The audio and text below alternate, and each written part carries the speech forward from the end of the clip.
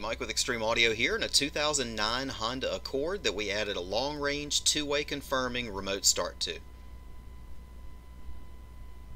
Any commands you send from the remote will be followed by a blink of the green light confirming the vehicle received the command.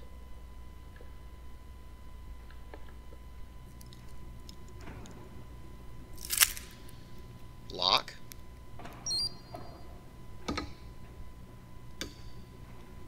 Unlock.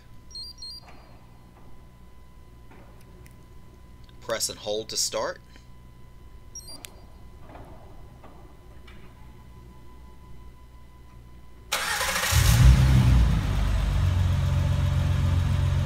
Green lights confirm that it started.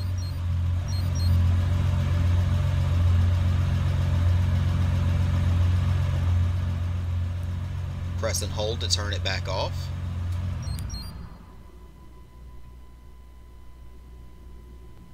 Press and hold the trunk button to open the trunk.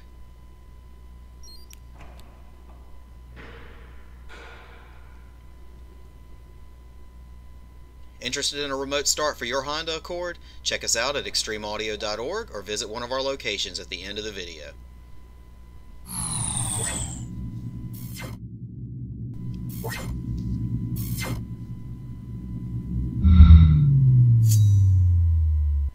Extreme Audio has two Richmond area locations, one in Mechanicsville just past Lee Davis High School next to Sheehy Nissan, and the other in Midlothian next door to Steelhorse Harley Davidson off Hull Street Road.